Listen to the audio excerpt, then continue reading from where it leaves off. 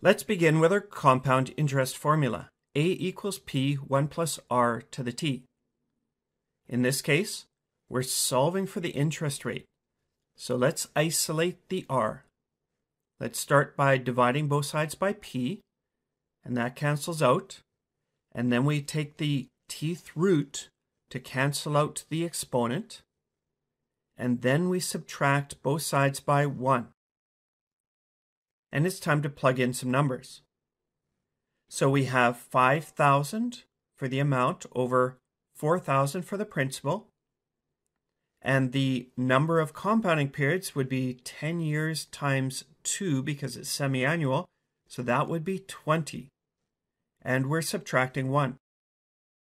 We stick that into our calculator and we come up with 0.011 which we can convert to 1.1%. Now we have to double check ourselves and we look and we see that we're compounding semi-annually. So this 1.1% is per compounding period, remember, or per half a year. Now, normally we're asked to report the interest rate in percent per year. So we'll have to double that. So we have 2.2% per year.